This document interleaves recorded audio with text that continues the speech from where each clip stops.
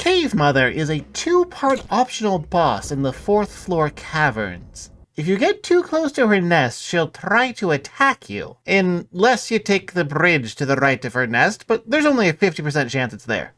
Before fighting her, you want to make sure to bring one of three things. The Salmon Snake Soul, two red vials or some other way to blind her, or the ability to deal 375 damage in a single round. The torso technically has four attacks, three of which share the same name, One Tooth Bite. The three copies of One Tooth Bite either always sever an arm, always sever a leg, or just deal damage. She also has a 1 in 4 chance of tilting her head instead of attacking. If her breasts are intact, then at the ends of turn 1 and every other turn afterwards, a cave gnome will show up. Using a red vial on her torso to blind her cancels out One Tooth Bite. From there, you can just alternate between swatting down cave gnomes and attacking her torso until she dies.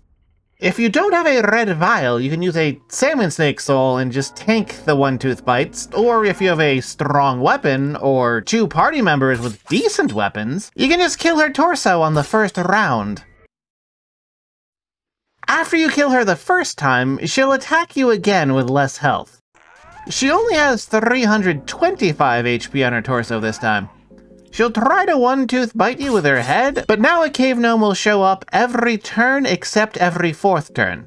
So do what you did the first time. Her head's a distinct part this time, so if you have a multi-hit attack like Flock of Crows or Black Orb, you can aim that at her head to kill her. Once she's finally dead, you can collect her soul to get an accessory that boosts your damage by 10%, and collect a bunch of gnome eggs from her corpse. The gnome eggs can help out a lot with the salmon snake fight.